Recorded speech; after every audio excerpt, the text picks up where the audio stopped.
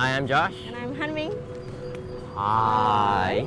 It's a pleasure to have you here today. Yep, so hope you guys can spare us a few minutes as we take you through all the latest updates in this month's CSI.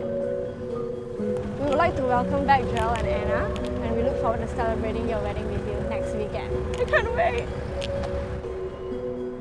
And like to say happy Father's Day to all dads out there for being such a great role model to us. Hope you do appreciate the gifts that we're going to give to you later. And do know that we do appreciate your love that you've given to us.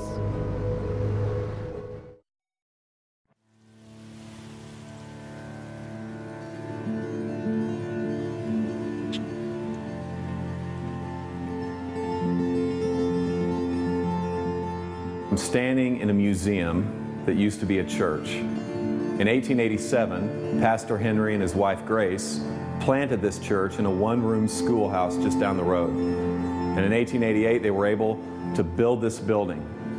And they passed on their love for this community because of the gospel to a generation. And things were going really well.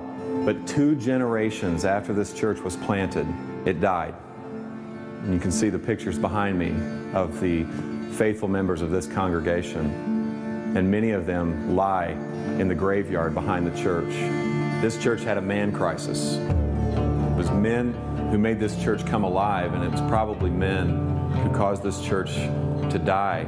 In churches, when men stop investing in younger men, younger men stop caring.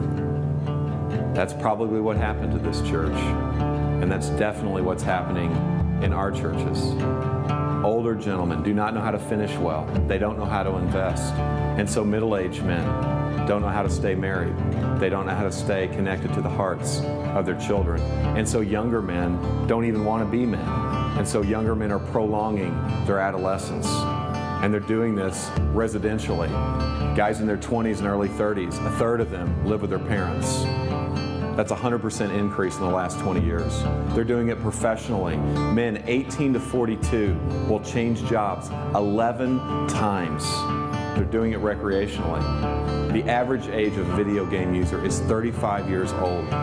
And so when these men finally stop fondling the controller, they fondle themselves. Every second of every day, $3,000 is spent on pornography. Every second. We need better men.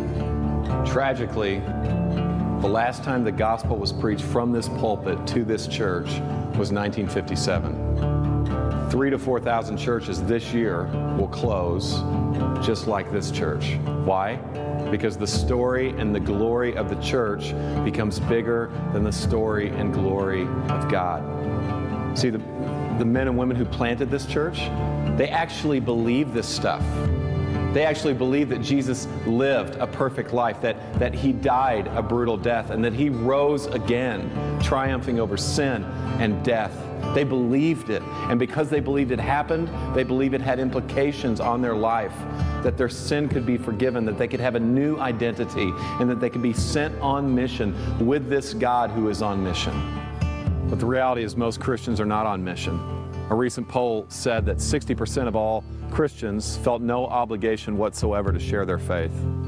Now, the temptation for us pastors is to beat the sheep with a stat like that in our sermons. But here's the reality, guys they're simply imitating and following our example.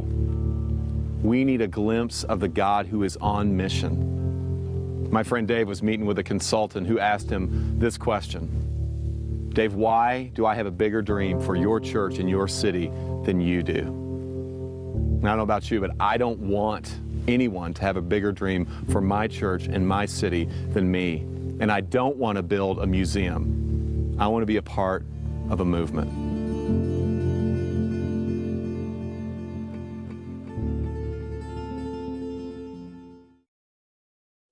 Hey Chase, know what's coming up soon? If you don't, It's community projects. Have you signed up? Yes, I have. Have you? Well, I'm going to. What about you, cameraman? Yeah. What about you, PCC?